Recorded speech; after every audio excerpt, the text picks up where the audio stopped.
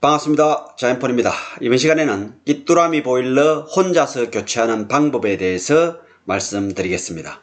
사실 어, 보일러 교체할 때 에, 원리를 알면 어, 혼자서 충분히 이, 교체를 할 수 있습니다. 그리고 신형 같은 경우에는 너무 쉽습니다. 에, 그래서 어, 그 부분을 좀 알려드리려고 합니다. 자 먼저 제가 지금 어, 요번에 교체하려고 하는 것은 어, 약 15년 이상 사용한 어, 보일러입니다. 그래서 이게 에, 외장형이고요. 어, 요 외장형은 조금 조금 어렵게 보이는데 사실 원리를 알면 쉽습니다. 아주 쉽기 때문에 제가 설명을 드리도록 하겠습니다. 자, 이번에 어, 깃다리 보일러를 샀습니다. 스텐으로 된 어, 기름 보일러용입니다. 어, 그리고 어, 모델은 이렇게 되어 있고요. 어, 옛날에 그 1년 전에 깃도라미 보일러에 그 문의를 했다 그러는데 저는 뭐 직접 한건 아니고 어, 깃도라미 직영에서 교체하면 85만원 정도 든다 그러고요. 스텐으로 교체하면 그 다음에 보일러 업체에서는 요즘 90만원에서 120만원까지 이, 부른다고 합니다. 근데 직접 설치하면 어, 제가 부속까지 구입을 해서 해보니까 50만원이면 충분합니다. 예.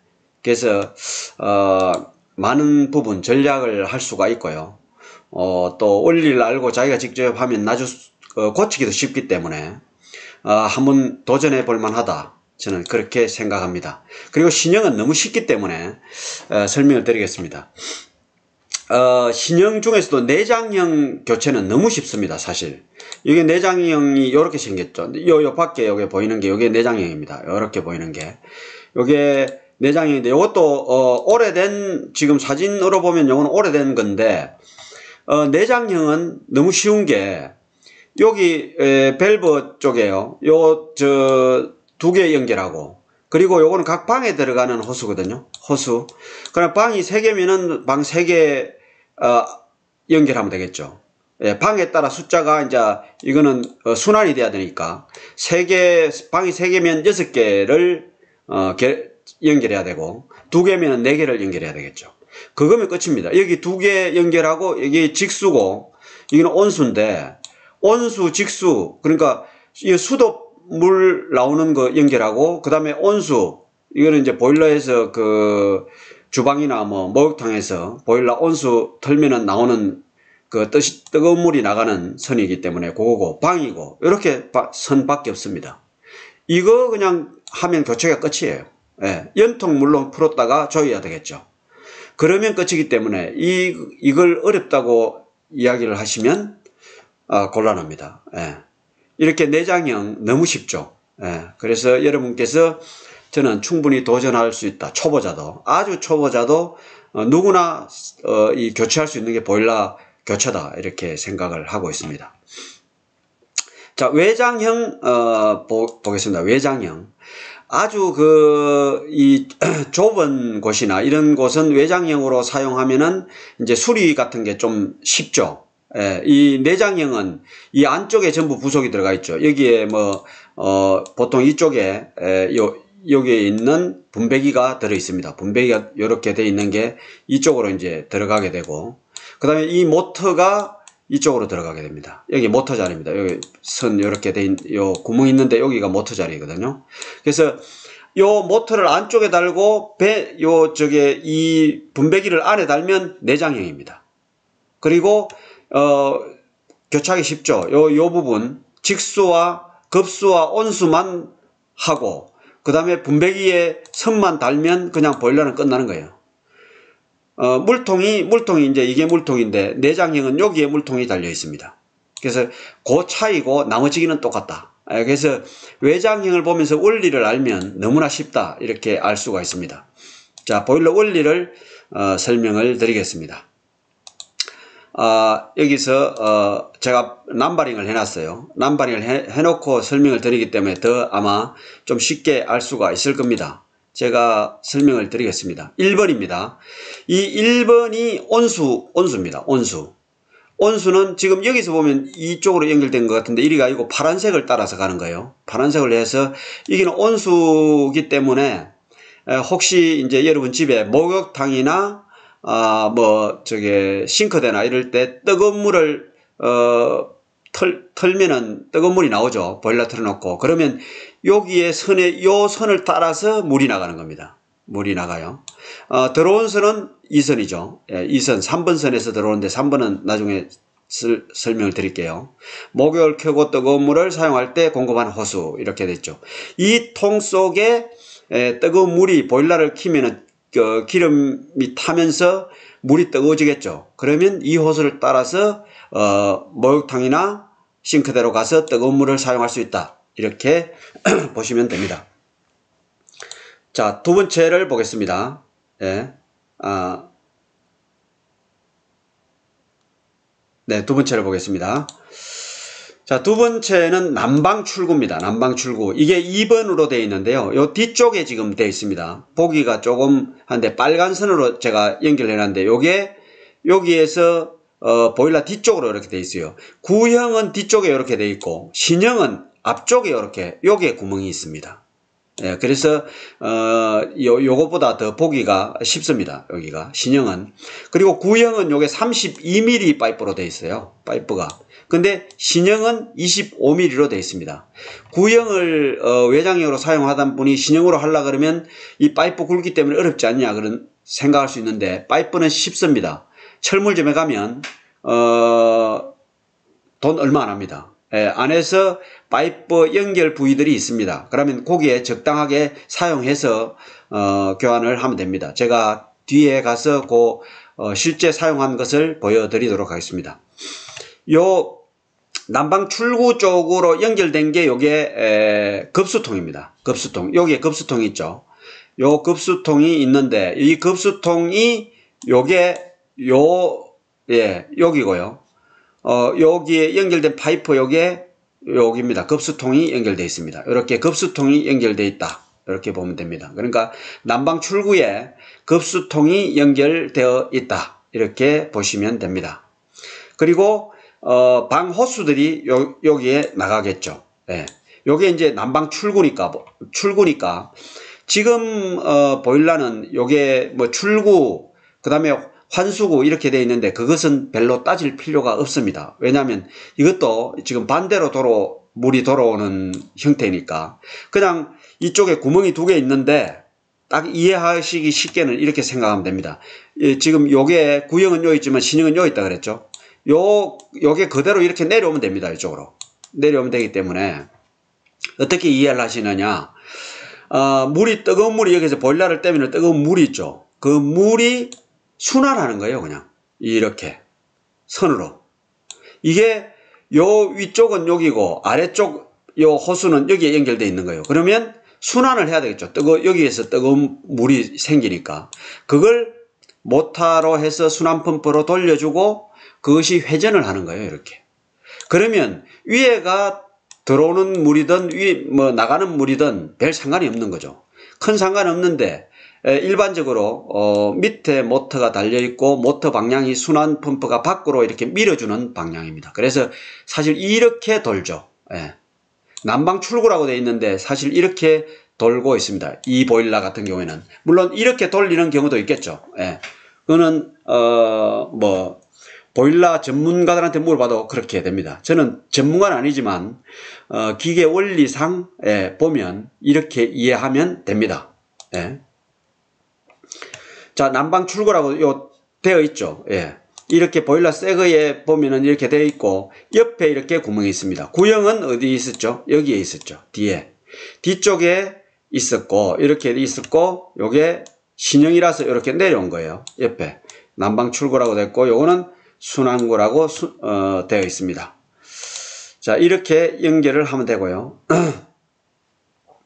각 방에 밸브를 설치하지만 아래 순환구에도 설치해도 됩니다. 물론 이렇게 아까 이야기한 게 보일러 여기에서 물이 뜨거워지면 예, 여기서 물이 뜨거워지죠. 뜨거워지면 여기서 순환이 됩니다. 이렇게 방으로를 거쳐서 이렇게 되는 거죠. 이게 이제 방이겠죠. 방 방이고 이렇게 도는 거죠. 그러면 이렇게 돌리도 마찬가지고 이렇게 돌려도 마찬가지죠. 그래서 여기에 순환 펌프가 있고 여기서 순환 펌프가 이렇게 물을 밀어내면 이렇게 도는 거죠. 반대로 여기서 순환 펌프가 이쪽으로 밀면 이렇게 순환이 되는 거죠. 예. 그런 형식이다. 이렇게 보시면 됩니다. 그 이제 자기 집에 달려 있는 대로 하시면 되겠습니다. 예, 보시고 제 설명을 듣고 그냥 아 그렇구나 이렇게 스, 이해를 하시고 어 실제 그 놓여져 있는 보일러 방식대로 하시면 뭐 아무 문제가 없겠습니다. 3번 요게 이제 급수입니다. 급수 수도에서 오는 어, 호수죠. 예. 수도와 연결되어 있습니다. 이 밸브가 수돗물이 나오는 밸브입니다. 그래서 여기에서 물을 여기에서 밸브를 털면 수돗물이 쫙 들어가는 거죠. 이게 급수통으로 올라가는 거고요. 요 급수통으로 이렇게 올라가죠. 예. 요 부분이 요 여기에 연결되는 부분입니다. 여기 연결돼서 이렇게 그 수도로 나가는 거죠. 수도로. 수도 물이 그대로 올라가는 거예요. 그래서 급수통에 수돗물이 차면은 요게 밸브이기 때문에 수돗물이 일정 부분 차면은 물이 더 이상 어, 급수되지 않는 그런 형식으로 되어 있습니다. 그래서 어, 위쪽 급수통 위에 물통 위에 연결된다. 물통 위쪽에 된다 말이죠. 아래쪽은 아까 이야기했죠. 요거 요거죠. 2번. 예.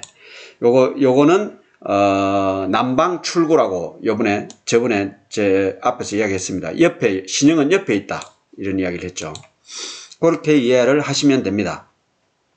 자, 4번 보겠습니다. 4번은 어, 보라색으로 되어 있는데 요것은 어, 남방 환수구가 되, 됩니다. 요 아까 저 앞전에 그림에서 신형 환수구 보셨죠? 그거 되고요. 외장형은 신형, 구형 모두 아래쪽에 돼 이게 이제 그 외장형으로 보면 외장형이라는 게 이제 펌프하고 요 분배기가 밖으로 나와 있다는 뜻인데 물통하고 그 요 요거 요게 전부 다 32mm고 아래쪽에 돼 있다. 예, 환수구 쪽은 다 아래쪽에 요도 지금 구형도 이렇게 돼 있고 신형도 여기 있습니다. 그래서 그 이야기를 하는 거고요. 어, 32mm는 신형은 25mm로 바꿔주면 된다. 예. 어, 순환 모터 연결 방향은 원래대로 한다. 원래대로 하는 게 가장 좋습니다. 예, 원래 놓여 있는 대로 그냥 하시면 됩니다. 이게 순환 펌프죠. 자, 순환 펌프를 보면은 어, 요게 순환 펌프인데 여기에 보면은 화살표가 어, 이쪽으로 돼 있죠. 오른쪽으로. 이렇게 돼 있죠. 여기 화살표가 나와 있습니다. 밑에. 이렇게 나와 있는데, 에, 요 부분이, 요 부분이기 때문에 이 보일러는 오른쪽으로, 예, 밑에서 밀어낸다는 의미가 됩니다. 모타 방향으로 보면. 그래서 이렇게 도는 거죠. 예, 순환이 됩니다. 그래서, 어, 이렇게 원래 있는 대로 그대로 설치를 해 주시면 되겠습니다. 자, 여기는 수, 어, 난방 순환구라고 밑에 거 돼 있죠. 여기에 겁니다. 어, 잠깐만요. 여기에 이렇게 되죠. 예. 난방수라고 되어 있지만 순환부가 물을 밀어낼 수도 있다. 이 말은 여기에 모터가 달아서 좀 전에 보셨다시피 이렇게 순환을 시킬 수도 있다. 이런 이야기입니다. 방향은 그 보일러에 따라서 다르게 하시면 되겠습니다. 예. 그렇게 하시면 되고요. 자, 이제 에, 분리하는 외장형 어, 분리해서 바꾸는 방법을 어, 조금 보여드리겠습니다. 먼저 요게 이제 기름 탱크입니다. 기름 탱크에는 밸브가 달려 있습니다. 그 밸브를 우선에 잠급니다. 어, 작업을 오래 해야 되기 때문에 뭐 딱 잠그고 하는 게 가장 좋습니다. 잠그고 어, 여기에 에, 이 수, 여기에 탱크에서 오는 이 선에서 연료 필터에 달려 있는 호스를 뺍니다. 그냥 어, 플라이어로 잡으면 어, 빠집니다. 예. 그렇게 빼면 되죠. 자, 분리를 하시고 그 다음에 순환 펌프 선을 분리합니다. 순환 펌프 선을 어, 분리할 때 순환 펌프에서 나오는 선이 있죠. 거기에 보면은 이렇게 선이 있습니다. 선이 있는데 여기에는 나무색으로 되어 있고 하나는 파란색으로 초록색으로 되어 있네요. 이렇게 두 개가 되어 있는데 일반적으로 요 선이 짧기 때문에 외장형으로 설치할 한 보일러를 보면은 대부분 어, 연결을 다른 어, 선으로 연결을 해놨습니다. 그 선의 색깔을 보면은 뭐 같은 색도 있고 요번에 보일러 이 그 바꿀 때 보면은 같은 색으로 해놨어요. 초록색으로 이렇게 두 개가 똑같은 선입니다. 그러면 원래 이 선이 어떤 것인지를 보고 어, 선택을 해서 연결해야 됩니다. 요게 이제 바뀌지 않게 연결을 하시면 되겠습니다. 그러니까 원래 선이 어떤 건지 먼저 보고 한 선을 연결하고 한 선을 빼고 정확하게 그 알아놔야 되겠죠. 그 선을 그렇게 요 선이 바뀌지 않도록만 하시면 되겠습니다. 그 다음에 방안 조절기 선 분리할 때도 마찬가지입니다. 예, 방안 조절기 선은 보통 보면은 어, 빨간 흰선 빨간 선의 흰선과 흰선이 이렇게 있죠. 그러면 흰선이 어느 선과 연결해 놨는지 그 부분을 알아야 되겠죠. 왜냐하면 방 안에서 보일러까지는 보통 거리가 멀기 때문에 에, 보통 어, 다른 선을 이용합니다. 다른 선을 이용하기 때문에 그 선이 어떤 선인지 색깔로 어, 분, 구분만 하면 되죠. 요거는 어, 흰색 선은 초록과 흰색 선으로 해놨고 빨간 선 부분은 어, 하늘색과 흰색 선 이렇게 두 개로 연결이 돼 있습니다. 그러면 그대로 연결해 주시면 되겠습니다. 자, 이 파이프, 둥근 파이프로 연결되어 있기 때문에 구형은 32mm이고 어, 신형은 25mm인데 이 파이프를 풀 때는 파이프 렌치가 있는 것이 유리합니다. 어, 이게 오랫동안 보일러를 쓴 경우에는 이게 굳었습니다. 예, 안에서 어, 쩔어 붙는다 그러죠. 예, 붙었기 때문에 굉장한 힘으로 어, 이게 단단하게 되어 있습니다. 그래서 어, 일반 어, 브라이아 가지고는 힘듭니다. 예, 그러려면 거기다 뭐 연결선을 좀 하, 연결한다든지 해야 되기 때문에 에, 렌치를 이용하는 것이 예, 파이프 렌치를 이용하는 것이 가장 어, 무난합니다. 그 다음에 몽키 스파나 같은 게 있어야 이제 요런 요런 걸 풀기가 쉽겠죠. 그리고 바이스 플라이어 같은 것도 어, 사용하면 좋습니다. 이렇게 해서 어, 이용을 하셔서 어, 이 파이프 분리를 하시면 됩니다. 어, 이런 부분들은 뭐 파이프 렌치 필요 없는데 요 큰 것만 할 때 파이프 렌치가 필요하겠습니다. 그리고 이제 분배기 분리, 분배기 분리는 그냥 여기에서 어, 풀면 됩니다. 예. 여기에 볼트 어, 너트로 되어 있는 이 부분만 풀면은 다 되고 물통 분리도 마찬가지입니다. 몽키 하나만 있으면 다 분리를 할 수가 있습니다. 뭐 특별하게 에, 뭐 주의할 점도 크게 없습니다. 저 부분은. 그 다음에 이제 배선 어, 연결을 이제 해야 되겠죠. 다 교체를 하고 나면은 연결을 해야 되겠죠. 아까 말씀드린 대로 어, 이 순환 펌프 색상을 잘 보셔갖고 예, 나무색, 뭐 노란색, 요 초록색은 초록색 이렇게 예, 제대로 원래대로 연결을 하시면 되겠습니다. 그 색상만 잘 표시해 두면 돼요.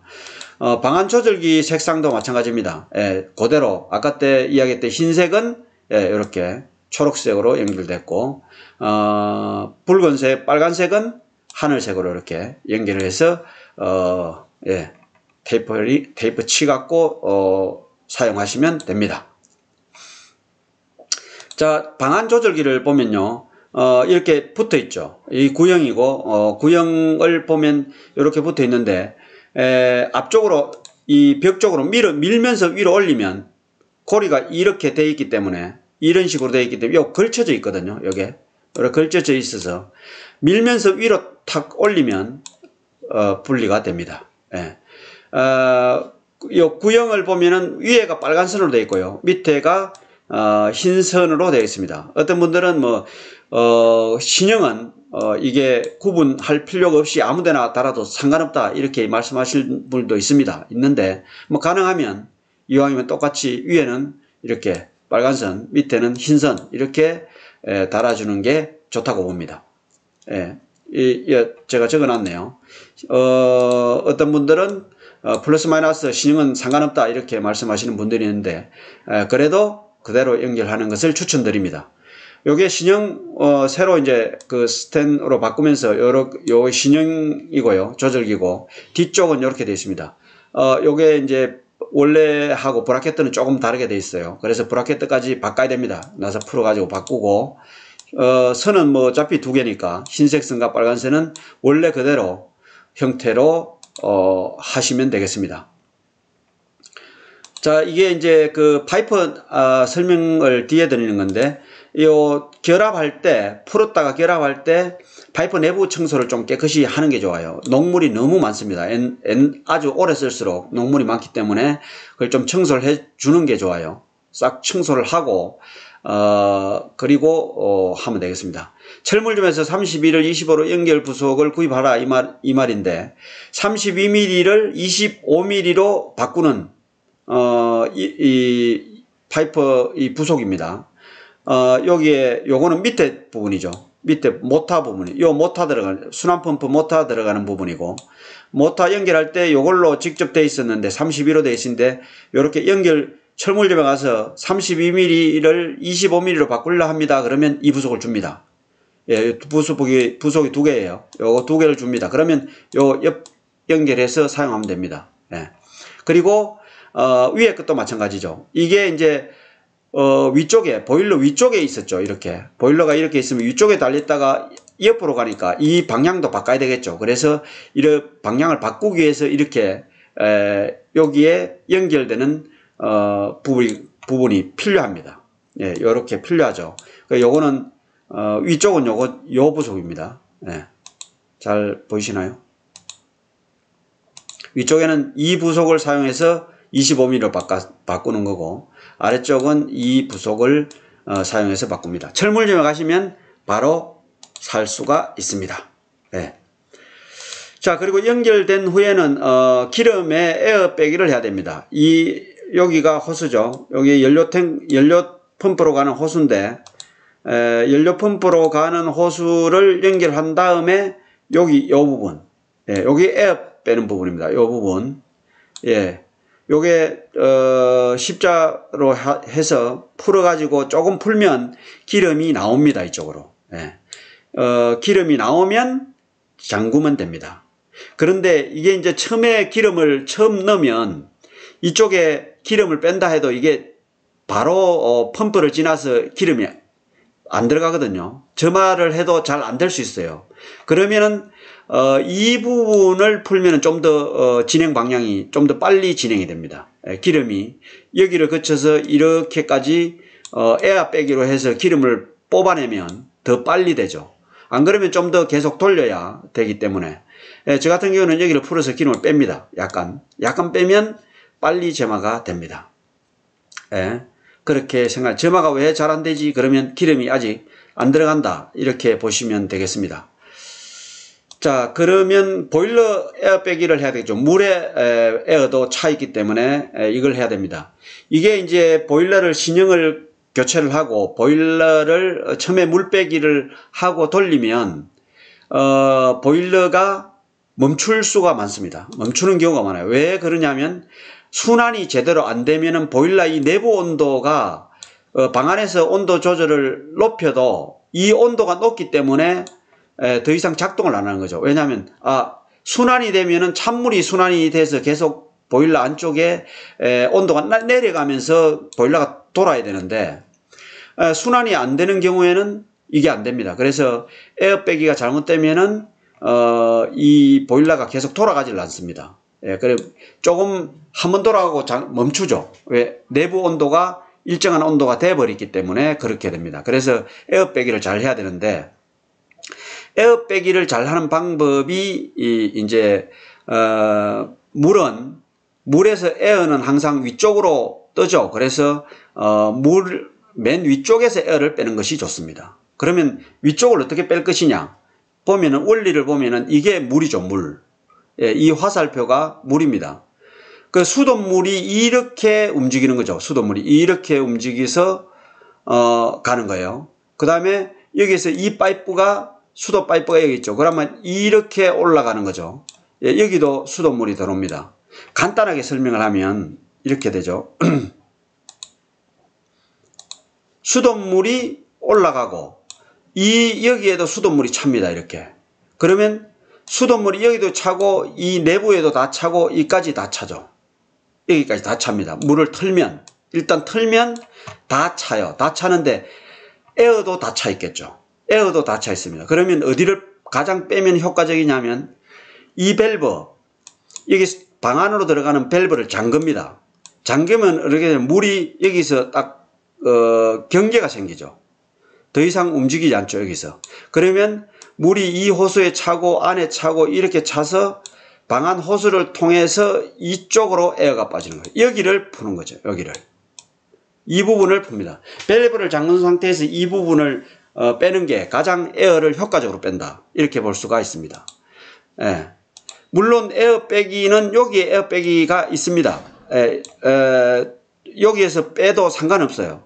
근데 상관없고 펌프를 계속 돌려갖고 돌리면 되는데 효과적으로 빼는 거는 여기보다 여기가 더 효과적이다는 거죠. 밸브를 잠가서 잠그고 하면 풀면은 왜냐하면 위에 물이 이렇게 나와버리니까 별 의미가 없고 여기에 밸브를 잠가서 이 호스보다 위쪽에 있는 물은 차단시키고 아래쪽에 있는 물을 뽑아 올리는 거죠. 그래서 에어를 열어서 빼는 것이 가장 효과적이다 이렇게 볼 수가 있습니다. 아, 요거 요 나사는 뭐 조금만 힘을 주면은 플라이어라고 조금만 힘을 주면은 풀리는데 여기서도 에어를 많이 뺍니다. 원래는 여기 빼도록 돼 있어요. 이 호수에도 빼기로 돼 있는데 이 호수 같은 경우에는 오래되면 잘 나오지도 않고 예 그렇기 때문에 어, 요렇게 요, 요 부위에서 빼는 것이 가장 효과적이긴 하다 이렇게 보실 수가 있습니다. 자, 여기서 뺐다 치고, 여기도 뺐다 치고요. 다 뺐어요. 그런데도, 어, 잘 안 돌아갈 수도 있습니다. 예, 또 숨어 있을 수도 있어요, 물이. 그래서 그 부분은 순환 펌프를 계속 돌려야 됩니다. 예, 순환 펌프를 계속 돌려, 여기서, 어, 보일러를 예를 들어서 여기서 이제 키 놓고 안에서 보일러를 어, 29도 이렇게 올렸단 말이에요. 그러면 순환 펌프가 제 처음에 순환이 잘 안, 그 물이 순환이 잘 안 되면서 어떤 현상이냐면 보일러가 꺼져요. 그러면 그래도 모터는 돌아갑니다. 예. 모터는 돌아가요. 왜냐하면 어, 방안 조절에 29도를 해놨으면 방안에도 계속 돌아야 되기 때문에 순환 모터는 돌거든요.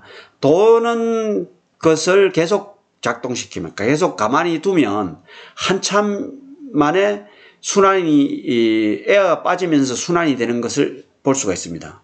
효과를. 그러니까 어, 보일러가 멈춰서 너무 이게 이상한 문제가 있는 거 아니냐 이렇게 생각하지 마시고 좀 더 돌려 보시기 바랍니다. 그러면 어, 잠시 후에 순환이 좀 자연스럽게 되는 걸 느낄 수가 있습니다.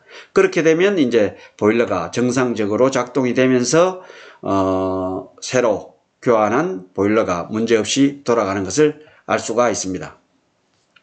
자 이렇게 해서 보일러 아, 그 교체하는 방법 그리고 원리를 좀 알아봤습니다. 어, 참고로요. 어, 보일러의 앞에 카바가 있습니다. 보일러 앞에 카바. 이 카바를 닫아야, 닫아야 보일러가 돌아간다는 어, 이야기를 하시는 분들이 있어요. 제가 원리로 봤을 때는 이해는 잘 안 가지만 이렇게 주장하는 분들도 있다는 사실 아, 시고 어, 이 보일러를 교, 다, 다 교체하시면은 예, 닫고도 어, 어, 작동을 시켜 보시는 방법을 어, 참고로 제가 여러분께 알려드립니다. 저 같은 경우에는 이제 열어놓은 상태에서 돌아갔는데 어, 또 그렇게 주장하시는 꼭 주장하시는 분들이 있으니까 참고를 하시기 바랍니다. 제가 뭐 볼라를 뭐 완벽하게 다 아는 건 아니기 때문에 혹시 어떤 센서를 달아놨는지도 알 수는 없는 문제고 해서 여러분께 참고 삼아 알려드렸습니다. 자, 보일러 교체하는 방법 아주 뭐 내장형은 너무 쉽고요. 외장형도 어, 어렵지 않다는 원리를 좀 어, 말씀을 드렸습니다. 어, 혹시 뭐 제가 또 설명하다가 잘못된 부분이 있으면 또 제 댓글로 알려주시고 그래 주시도 되겠습니다. 자, 요번에 교체한 보일러는 지금 잘 돌아가고 있고요. 어, 그래서 제가 여러분께 보일러 교체 방법을 설명해 드렸습니다. 예, 오늘은 이것으로 마치겠습니다. 감사합니다.